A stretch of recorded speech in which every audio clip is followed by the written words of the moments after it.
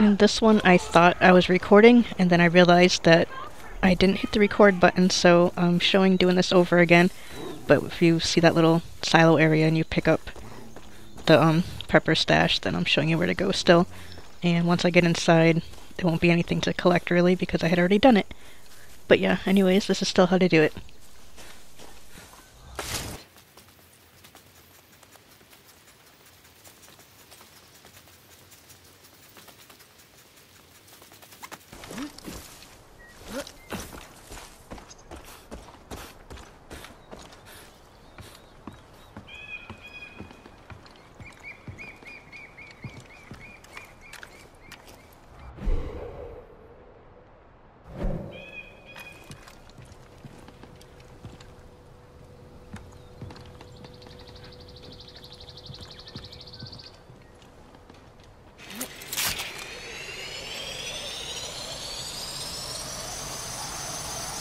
Huh?